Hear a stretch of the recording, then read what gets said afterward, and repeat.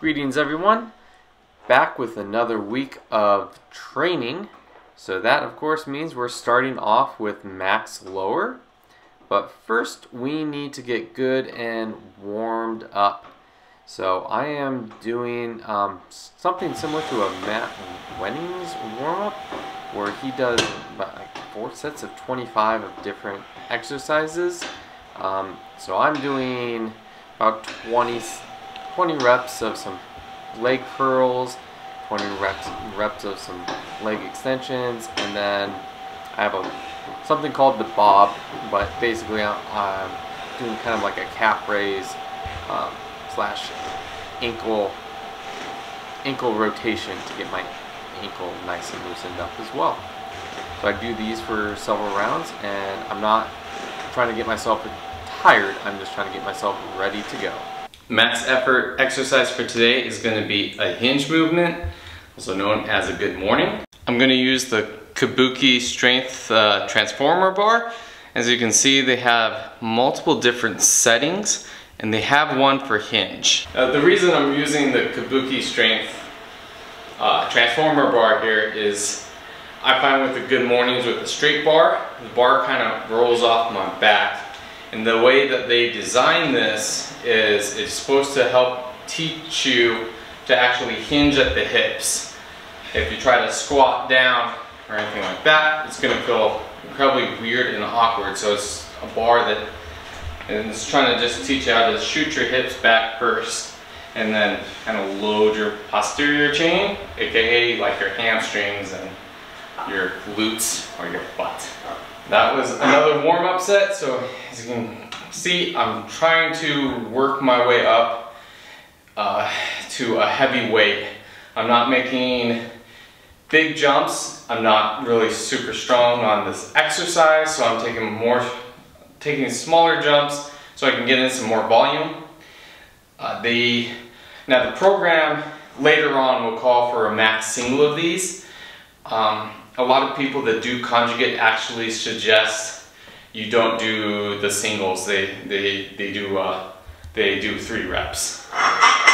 35 pounds, and now we just added 45 pounds. So now we have 135 on the bar, and I'll do another set of three. It was a little bit of a larger jump, but after this jump, I'm definitely gonna go back to much smaller jumps because I'm getting closer to my max for today once again, it's the maxes for the actual day of like how I'm feeling. Like I've already worked, I've had had my lunch and everything. I've been sitting for eight hours. Um, so it all depends on how I feel. If I feel amazing, if these sets feel amazing, I'll just keep going for a little bit. Otherwise, I'm gonna cut it off early. That is gonna be my top set for today. Uh, I still have my accessories to do. The Romanian deadlifts can be tiring on your lower back, or at least they can be tiring on mine sometimes. The first rep on this last one didn't feel the best. The other two felt actually pretty good, but I'm gonna call it safe and I'm gonna move on to my accessories.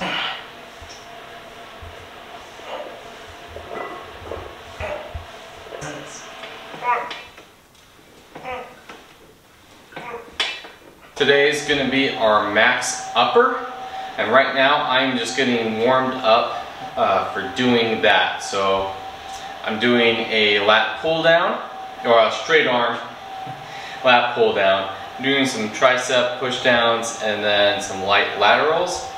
I'm doing, I'll do about three cycles, maybe four, 20 reps. Um, if this looks familiar, like I saw this on Matt Wenning. Matt Wenning was, is this is kind of his warm-up style. So I'm, I'm trying it out. I like it because I get a little extra volume. So the weights I'm picking, like I'm not supposed to be extremely tired after this. Like this isn't necessarily supposed to really affect the rest of my workout other than getting me warmed up and ready to go. So now we're gonna start going up to our max for today. And the exercise is gonna be uh, kind of like a pin press or a rack press. So I have the safety set up a little high and then I'll just come down to the safety, rest the bar on the safety and come back up. You can use a regular barbell for this, but I have an Elite FTS cambered bar, so I'm gonna be using this.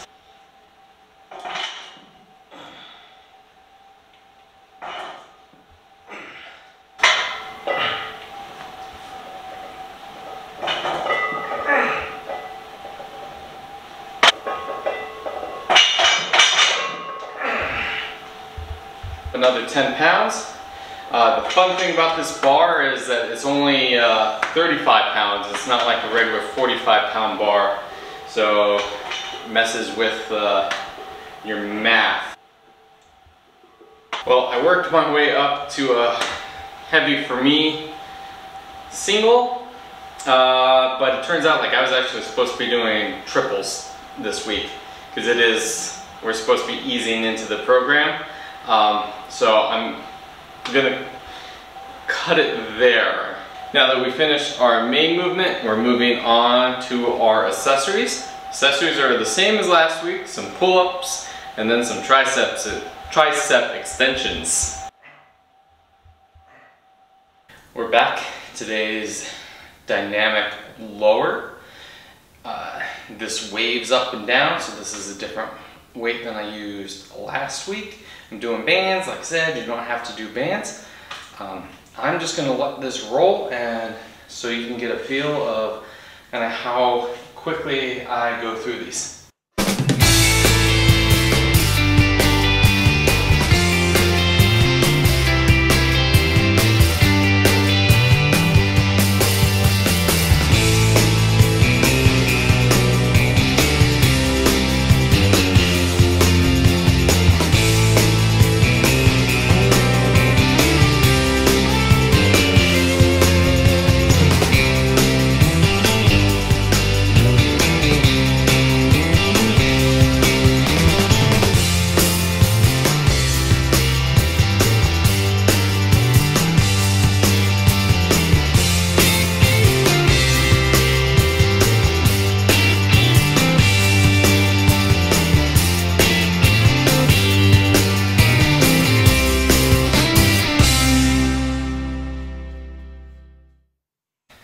Up, we have some speed deadlifts. I'm just gonna do straight weight on these. Once again, I'll just let it roll so you can kind of see that I pretty much do my set, I go mark it down, I come back, I set up, I try to do my, my next pull.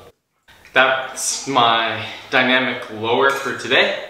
Next up would be accessories. The accessories are same as the max effort day. So I'm not going to show you those all over again. They're, they're not really going to change. The weights might change just depending on how I'm, I'm feeling. You know, if you're feeling, feeling good, go ahead, add a little more weight. Feeling beat up, go ahead and, you know, maybe lighten it up. But we'll catch you again tomorrow for my dynamic upper day. Now, it's the last day of the week. It's the fourth day, so it's dynamic upper. So what we got here is a bench press for our speed work. I have it hooked up with some bands. You don't need the bands, especially if it's the first couple times going through. My bench is really weak, so this is really low weight. We're gonna do three reps uh, for nine sets.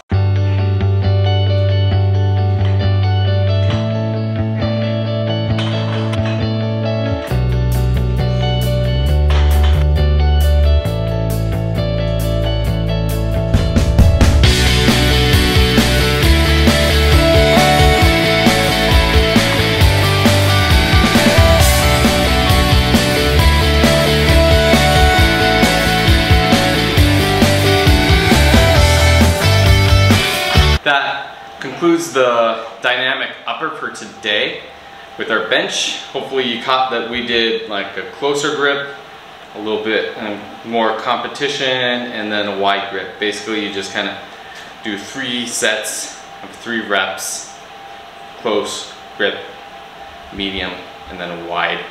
The accessories for today are going to be the same as earlier in the week and previous weeks. So we're not going to show you those. And other than that, we'll give you an idea of kind of what I do for warm-ups. Like I said, I got those from Matt Wenning.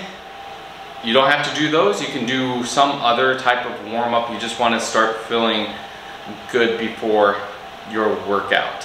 Thank you very much for watching. We'll post something else for next week so you can follow along on this workout. Thank you.